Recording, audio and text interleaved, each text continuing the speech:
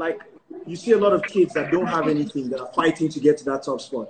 How hard it is to come from a position of privilege, but just have that desire and hunger. And to me, that's what I respect about him the most. Like, you know what I mean? To be able Yeah, to no, do I know that you level. mean. Like the problem Nigeria ha- Nigerians have is that you know Nigerians a large a large portion of Nigerians feel very entitled and they just hate what they call the establishment. You know what I mean? So because he comes from a well-to-do family or what have you, he's the enemy. He's not the enemy. He works harder than you. You know what I mean? Like David works hard, legit hard. You know what I mean? And then people feel like, oh yeah, you you, know everything you got, you pay for it, and that's that's that's so dumb. You know what I mean? That's he's not the dumb. first. Like He's not the first. I mean- like there have been many people that have a lot of money that tried to crack this industry. I couldn't make it. You know what I Nah, mean? they couldn't do Um, it, few people. You know what I mean? Shout out my So, nigga. shout out to him. Man. Shout out David. Yeah, Ah, let it's me on hit you, you. it's Let me on let you. me hit you.